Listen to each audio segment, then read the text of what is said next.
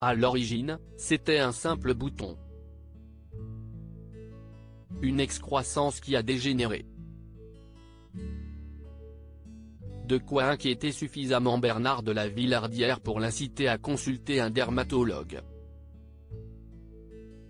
Je pensais que c'était dû à une blessure, pas très importante. Mais les examens ont révélé un mélanome assez virulent.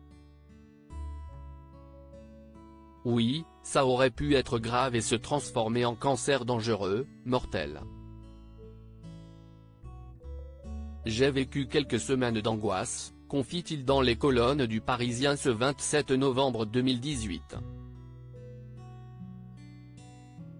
Deux opérations, dont une section partielle de l'oreille, l'aune a priori tiré d'affaire, même, s'il, reste sous observation pendant quelque temps.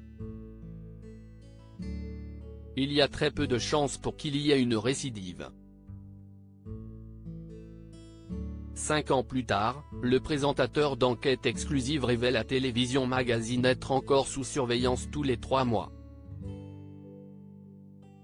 Au micro de Sophie Davant sur M Radio ce samedi 13 mai, Bernard de la Villardière donne pourtant des nouvelles rassurantes. Je vais très bien. J'ai passé des examens, des radios, des scanners tout récemment, pas plus tard que cette semaine et les nouvelles sont bonnes, commence-t-il. Et de se livrer à cœur ouvert, j'ai cru à un moment que ça allait changer mon regard sur la vie. Je suis passé par des périodes d'angoisse, en me disant que ma vie allait être plus courte que prévu, parce que les pronostics n'étaient pas très bons. Il résume, j'ai suivi des séances pendant un an, et si est ce qui fait qu'aujourd'hui, je suis devant vous? Il y a 12 ou 15 ans, peut-être que je serais déjà mort, donc si est formidable, mais pour l'instant, je tiens à cheval et je continue. Un témoignage bouleversant.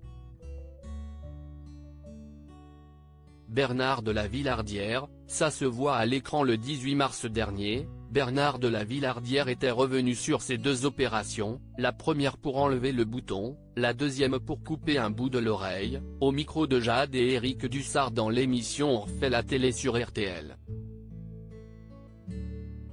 Une rémission rendue possible par un traitement d'immunothérapie censé potentialiser vos défenses immunitaires, et heureusement ça marche.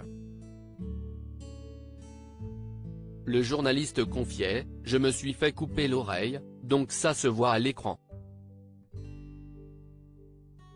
Pendant un certain temps, je me suis baladé avec un pansement sur l'oreille donc je l'ai dit. Je ne me cache pas. Je suis dans les salles d'ATNT avec tout le monde, je ne réclame pas de traitement particulier. Une rare démonstration de courage et d'honnêteté.